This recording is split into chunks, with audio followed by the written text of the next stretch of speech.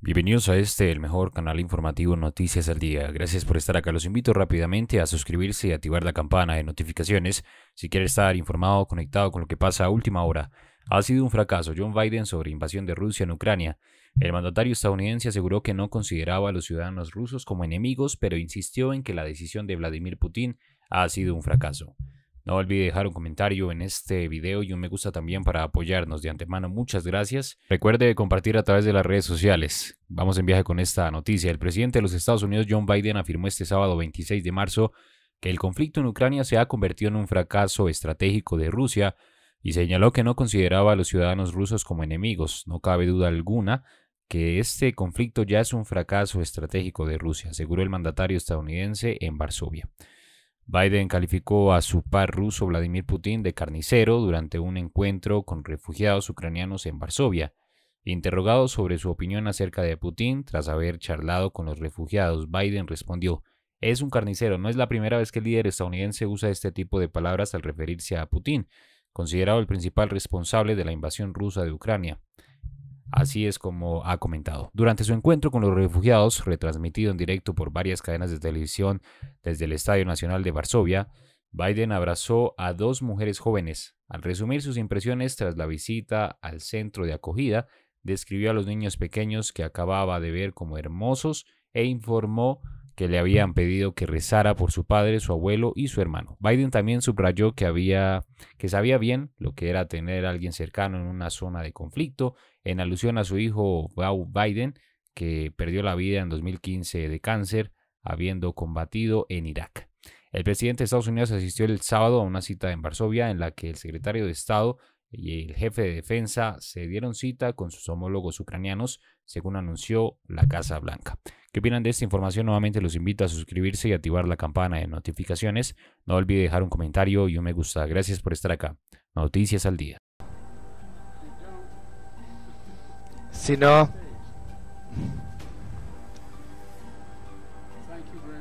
Muchas gracias. Es un honor estar aquí. Señor presidente me dicen que está por ahí. Bien, gracias señor presidente. No teman. Esas fueron las primeras palabras del primer discurso del primer papa polaco luego de su elección en octubre 1978. Fueron las palabras que fueron a definir a Juan Pablo II, las palabras que cambiarían al mundo Juan Pablo trajo el mensaje aquí a Varsovia en su primer viaje a su casa en 1979. Fue un mensaje de poder, el poder de la fe, el poder de la resiliencia, el poder de la gente. Frente a un sistema cruel de gobierno, un mensaje que ayudó a superar la represión en Europa del Este hace 30 años. Fue un mensaje que superaría la crueldad de esta guerra injusta cuando el Papa Juan Pablo II trajo ese mensaje en 1979 generó unión. El, unió, el mundo se unió más allá de una cortina de hierro. Un año después el movimiento de la solidaridad tomó impulso en Polonia. Si bien no puede estar aquí ahora, estamos agradecidos por lo que él hizo.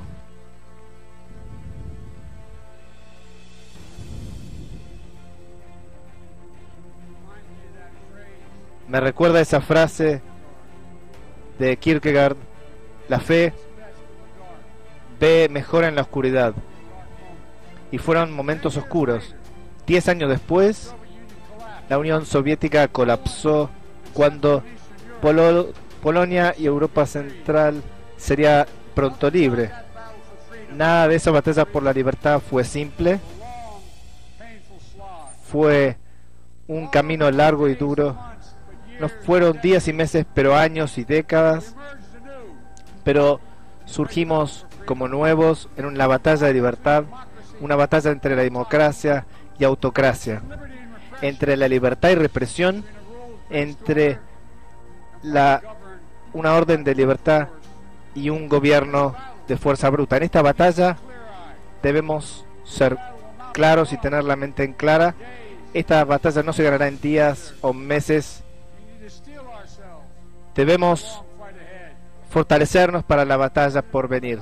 Señor presidente, señor primer ministro, alcalde, miembro del parlamento, distinguidos invitados, la gente de Polonia y supongo algunos de Ucrania que también están aquí.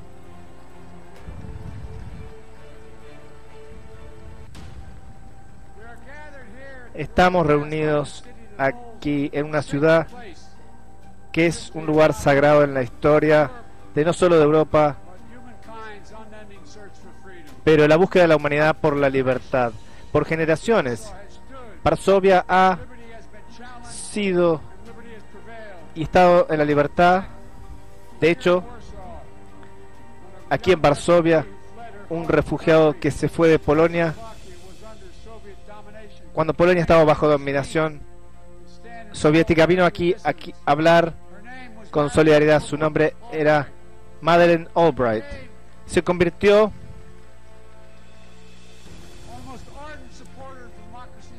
una de las seguidoras y defensoras de la libertad. Fue la primera secretaria de Estado de Estados Unidos. Murió hace tres días.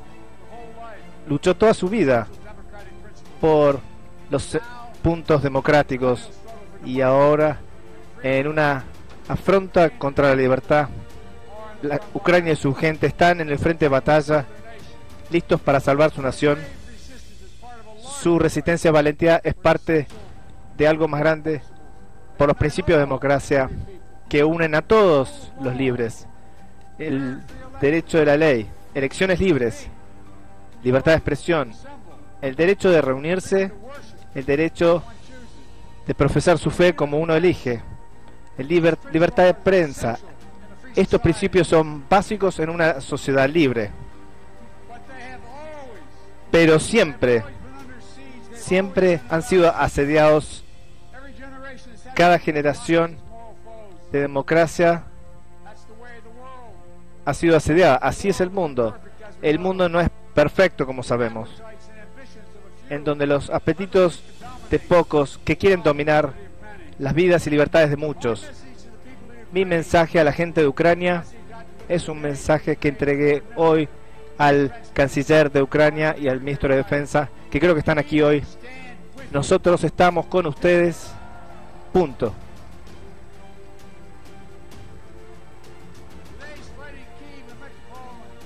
aquí en la lucha de Kharkov, Kiev en la lucha larga, 1946.